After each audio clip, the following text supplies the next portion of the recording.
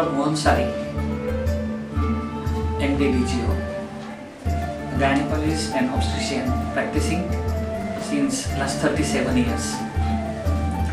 I have 60 bedded gynec maternity hospital in Pune district.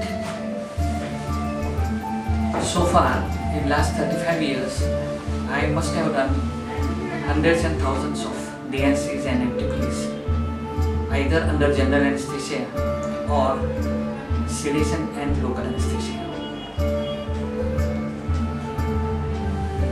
I came to know that Dr. Pardeshi from Nasik is doing these procedures under acupuncture anesthesia since last five years.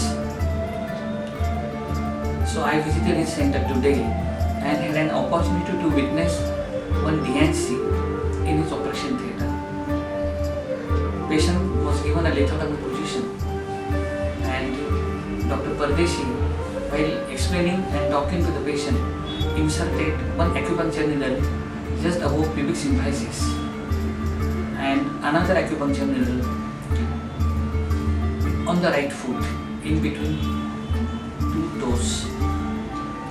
No other medicine or any injection or any kind of sedation was given to this patient.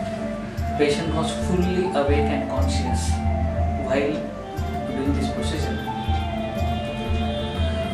The dilatation of the cervix is most painful part of the procedure and if there is no proper anesthesia, patient may go into syncope that is sudden fainting and shock. But to my surprise, this patient did not feel a pinch of pain during throughout the whole procedure.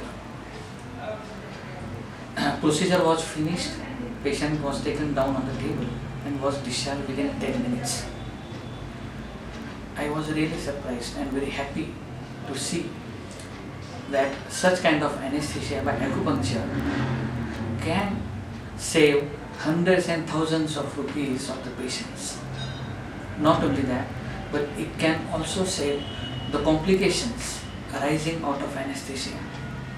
I strongly recommend that the gynecologists who are doing these procedures should learn this technique at acupuncture therapy center at Nasik and I strongly recommend that they should practice this procedure in their clinics also.